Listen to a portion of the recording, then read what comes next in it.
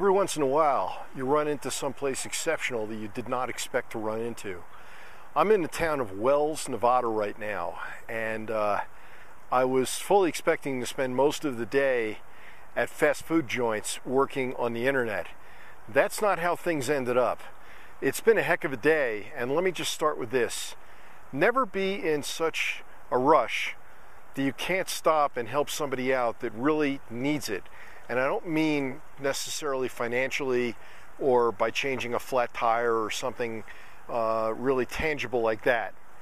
Um, I'm going to leave it at that. Uh, just, you know, if the opportunity presents itself, you'll be blessed by doing it.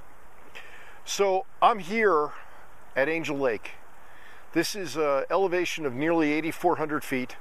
It's only about a 20 minute drive from the town of Wells, which is about 5,400 feet. So it's about a 3,000 foot climb and about a 20 some odd mile uh, jump. Um, this lake is small.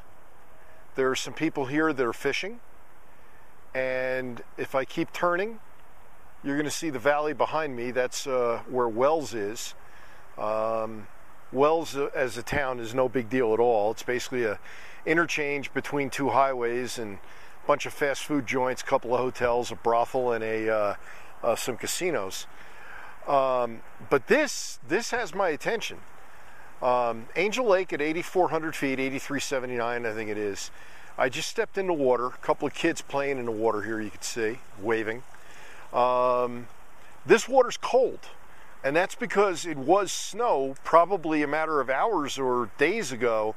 Because you see what's going on above here. This is July 25th. Let me say that again July 25th. And we're only at 8,400 feet, and there's a lot of snow up there for uh, this time of year.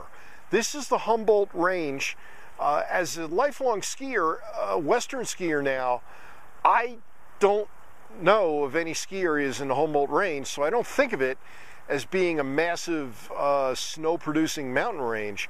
Yet here we are on, again, July 25th, and you can see what's going on up here. There's still um, enough snow that it looks like, eh, you know, shoot, if it was looser, it could slide. Uh, I'm sure it's not. Um, but uh, Beautiful waterfall coming down, uh, beautiful glacial or mountain lake. Um, just absolutely spectacular place. 20 minutes outside of Wells. Um, I'll tell you, if it was bigger, I'd put the kayak in. I don't see the point. But uh, I've already swam 400 yards today, 16 25 yard laps, and biked five miles. So I guess I kind of got my exercise in. Uh, believe it or not, there's an RV park up here, so I'm going to take a drive through the RV park and check it out. And who knows, maybe I'll end up up here. All right, um, Alan from RVAcrossAmerica.net.